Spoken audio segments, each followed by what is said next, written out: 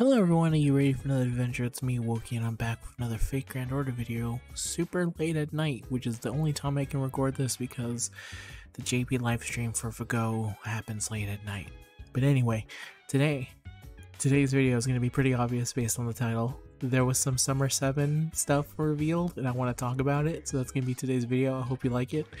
Feel free to tell me how you feel about it Alright, let's go. So we're gonna have to bring this up because as always, we have to give some credit to some of the dudes.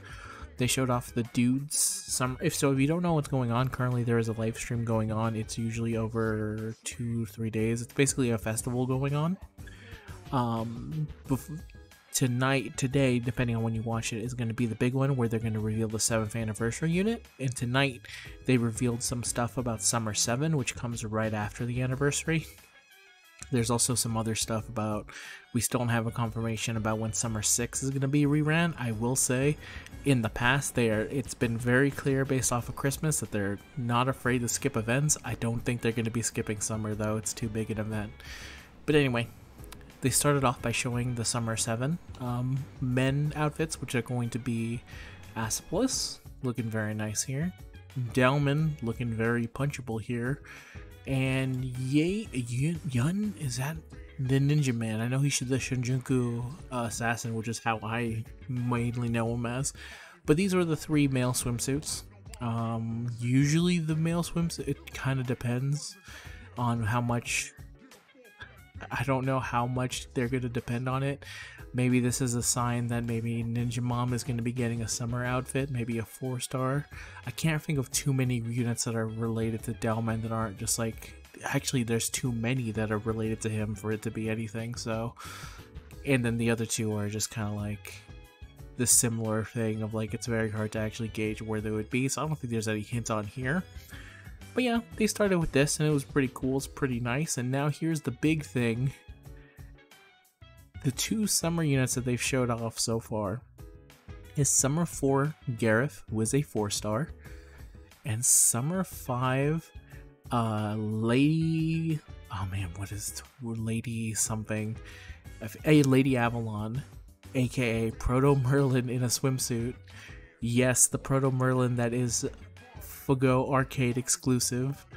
She is making her way into the game they're actually bypassing the exclusivity that arcade has. So let me explain. This was insane. This was an extremely good uh, hype reveal, and there's some implications about it that are gonna. It's gonna be interesting to see what the anniversary unit is. But let me start with this, in case you don't know. Fago Arcade and Fago Regular are considered two different properties, meaning that they have to get permissions with each other in order to collab certain units that are considered theirs. Now, I know it sounds weird, it sounds very weird. And some people are probably a little bit confused by that as well.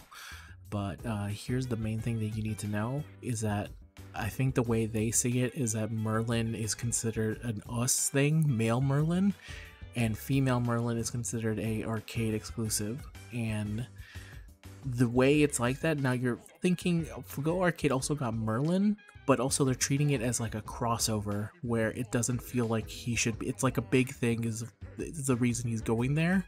So it's so basically the only way we could ever get Proto Merlin in our game is that we would have to get collab with Fago Arcade. We can't just have her normally. That's just the way of the state of the being. The same thing probably goes for Tiamat and Sima and the female version of no no the male version of the female girl we got that I forget her name. I think it's Jock or something whatever. Anyway my point is is that we have to do a big rigmarole if we actually want to get Proto Merlin. But apparently that does not count for the summer version. So they're basically bypassing all of that making this the first unit we've ever gotten that is debuting as a summer unit and we don't have a regular version of, which is crazy. Because this is definitely one of the big ones. I think there's two two current big ones. Probably a third one that I won't mention because it's a little bit of a um, but no one here can play for Go Arcade. But here's the three ones that are in my head, the big ones. The number one is obviously Proto Merlin. Number two is Tiamat, which they currently have and number three would be Mother Harlot, but Mother Harlot is not actually a unit for them yet, I think. she's a boss. But those are the three that come to mind of the big ones. Um, so to get her early before a collab of any kind is kind of nuts. And it sounds like they're getting a collab with us to get Merlin. I don't know if that means. I think a lot of people are taking this as this means that she's not going to actually be there for the collab, and that means that it makes way for Tiamat and maybe some others to join us. I would, now that she's here in summer form, I definitely would prefer if when we do a Fago Arcade uh, crossover, we get um, we get Tiamat and maybe someone else. I still need to think about which other one I want, but anyway, great reveal, fantastic, good stuff. Here's so here's a question. I did a video previously saying I have no idea who the summer, the seventh year anniversary. I've seen some of the potential ideas for it being maybe Galahad. That's the one I've seen where it's like, well, it's a shield on the cover, so it should be Galahad. And I say, okay, fair enough. Makes sense. Um, I don't know who you release that doesn't make people automatically skip and go straight for Proto Merlin. Because if you weren't there when Merlin originally released, there has been exactly two times on specifically the NA version of the game where it grinded to a screeching halt, where it was very hard to play. One of them was Castoria, which we recently had, and the other one was Merlin. And on the JP version of the game, when Merlin was there, it's very hard to kind of like because we kind of see it as like, oh, these are just updates that this is the way the game the net game naturally possessed. But when Merlin originally released on the JP version of the game, he was so crazy broken busted, they had to change the way bosses had to be built. Like before before Merlin, bosses just had really big HP bars, and then you did your best to take them down, and it actually did take a while. That changed when Merlin came around because he dealt so much damage that you could easily take an enemy down in one turn. And that's why we have break bars. If you've ever been annoyed by break bars, they exist because of Merlin and stuff like that. So, it's going to be interesting to see how they handle Proto Merlin because in my mind, she has to be nuts crazy broken to live up to the Merlin name. That would make her probably one of the best summer units in history if I were to think about it, if I was specifically releasing stuff for the game. Otherwise, it doesn't really do justice to Merlin as a person and the legacy that he kind of holds. Which is funny to think about now that so many people want him to get buffed that he doesn't have that legacy anymore. But to me, that's what the legacy of Merlin is: is that a crazy unit that basically broke the game, and now here's the second version of him, but now it's a woman, so it's gonna go nuts.